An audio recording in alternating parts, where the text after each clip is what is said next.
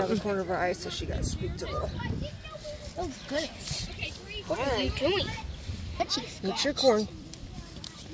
Calm down. Just calm down. Ah!